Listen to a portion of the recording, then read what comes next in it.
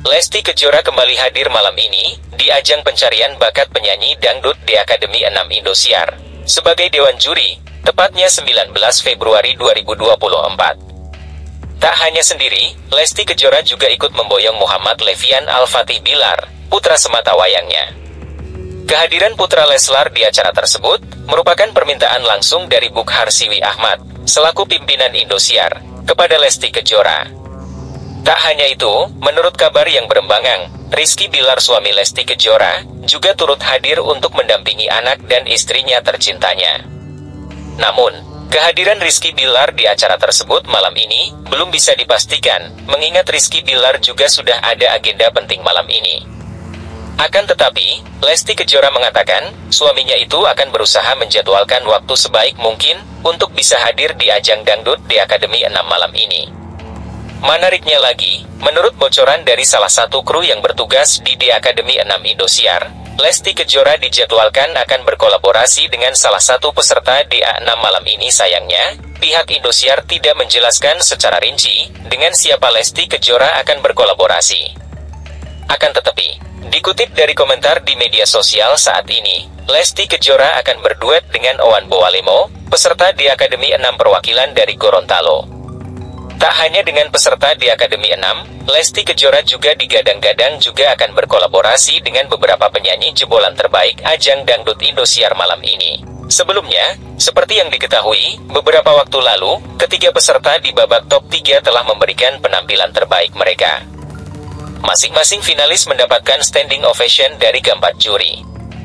Selain itu, persaingan raihan hasil polling SMS ketiga peserta pun ketat. Kini, pada babak result show inilah penentuan ketiga peserta bersaing untuk lolos ke babak grand final di Akademi 6. Sebagaimana diketahui ketiga peserta babak top 3 ini adalah Madani, Novia dan Owan. Sementara ini Madani berada di posisi terbawah. Meski begitu, hasil di Akademi 6 show tersebut sementara karena ketiga peserta masih bisa tampil di result show. Pada babak result show ketiga peserta kembali tampil membawakan satu lagu pilihan. Setelah tampil, hasil polling SMS dikumpulkan dan diakumulasikan dengan perolehan polling sebelumnya. Sebagaimana diketahui ketiga peserta tampil di babak top 3 ini adalah Madani, Novia dan Owan. Madani merupakan peserta dari Sedang Bedagai, lalu Novia peserta dari Serang dan Owan peserta dari Boalemo. Pada babak top 3 show para peserta tampil dengan menghadapi tantangan. Adapun tantangan tersebut, ketiga peserta tampil berduet dengan top 3 di Akademi 5. Sebagaimana diketahui top 3 di Akademi 5 itu adalah Sri Devi, EB dan Avan. Madani tampil duet dengan EBE membawakan lagu Balkis dari Siti Nurhaliza. Lalu, Novia tampil duet dengan Avan membawakan lagu Tung Kripit dari Roma Irama. Adapun Owan tampil duet dengan Sri Devi membawakan lagu Surga di telapak kaki ibu dari Edi Silitonga.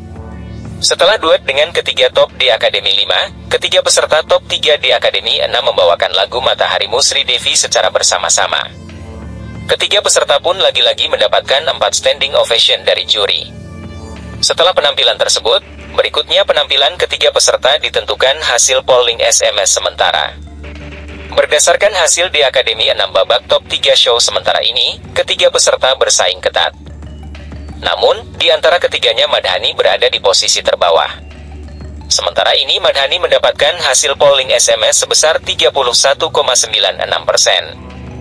Adapun di posisi kedua diraih oleh Novia dengan raihan hasil polling SMS sebesar 33,46 persen.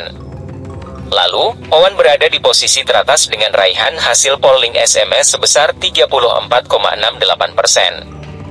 Meski hasil polling SMS Madani terendah, ia masih memiliki kesempatan meraih suara di babak result show. Bagi peserta yang lolos maka akan melanjutkan perjuangan ke babak grand final.